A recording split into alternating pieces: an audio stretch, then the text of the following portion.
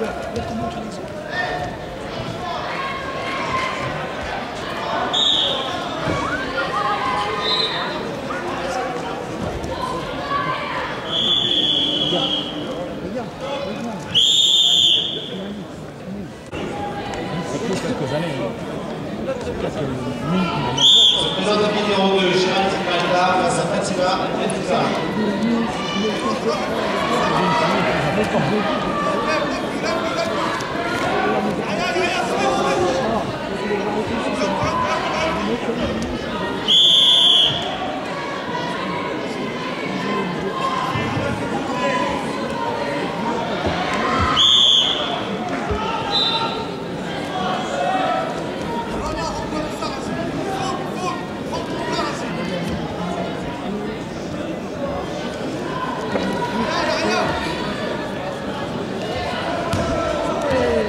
Numéro 2, Géraldine Malpa, face à Fatima Benfouza.